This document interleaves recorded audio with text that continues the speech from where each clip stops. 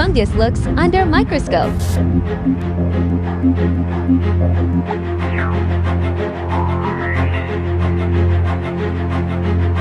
So many neurons called hypha.